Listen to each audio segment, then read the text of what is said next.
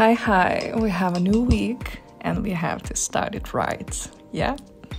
So, for this throwback, today I'm bringing hammered silver hoops. Who doesn't like hoops, right? It's the jewelry classic.